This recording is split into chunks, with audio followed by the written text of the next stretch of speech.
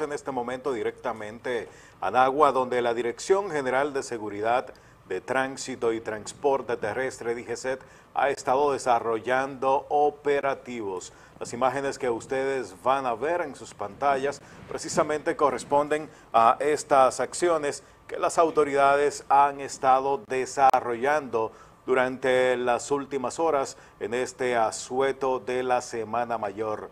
Ahí vemos cómo pues varias unidades han sido colocadas en esta principal vía que conecta al municipio de Nagua. Están requisando eh, conductores, eh, no importa la denominación ni categoría del vehículo, pero sobre todo haciendo mucho eh, hincapié en el tema de los motoristas. Todos sabemos que más del 80% de las personas que se ven involucradas en aparatosos accidentes de tránsito tienen como protagonista a los motoristas. De verdad que la desobediencia siempre prima en ese sentido y el llamado que nosotros hacemos a usted, amigo motorista, es que si decide salir de su casa, coloque su casco protector, lleve sus documentos, así usted va a evitar contratiempos una vez sea detenido por las autoridades en estos operativos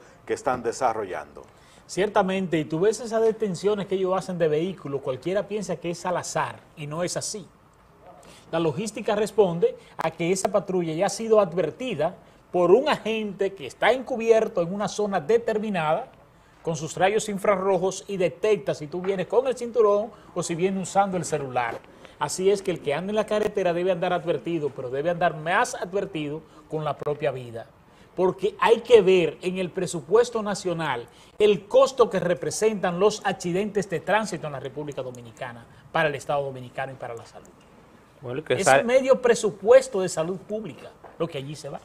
El que sale a la calle, Wilson, a, a desobedecer las órdenes, las leyes, ¿verdad?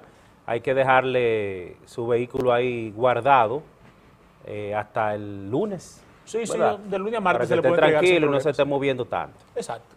Bueno, vamos con la próxima información. Hay que decir que eh, tres meses de prisión